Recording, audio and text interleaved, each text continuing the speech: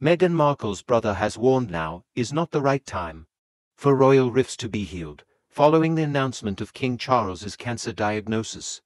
In a statement released on Monday, Buckingham Palace confirmed the monarch has been diagnosed with a form of cancer. This comes as the king recently left the London Clinic Hospital for treatment on a benign enlarged prostate, following his discharge from hospital. Queen Camilla told concerned members of the public that the king is fine and looking forward to getting back to work. King Charles has now begun a schedule of regular treatments and will withdraw from public-facing duties for the foreseeable future.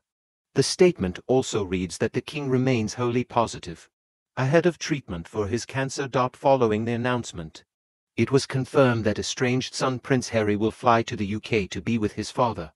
The Duke of Sussex will return home alone, leaving wife Meghan Markle and their children Archie and Lilibet in California.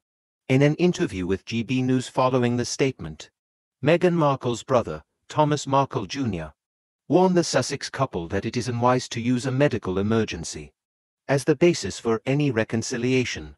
Markle Jr.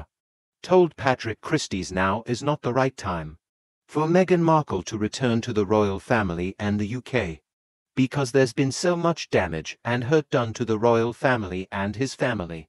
He added, I think it's going to be a while before she can get over there. It's the right thing for Harry to do. Nothing else matters when there's a family emergency. When asked by Patrick Christys if it is the right time for the royal rift between the firm and the Sussexes to be healed, Thomas Markle Jr. disagreed. He stated, When it comes to a health issue especially, Everything needs to be set aside and it should be dealt with first. I don't think it's the right circumstance. Rifts have to be healed, sorted out, in a certain manner. It's going to take a lot of time to repair your reputation and your relationship based on the damage and the hurt that's been done, but I don't think a medical emergency should be the basis for the mending of a relationship that's bad.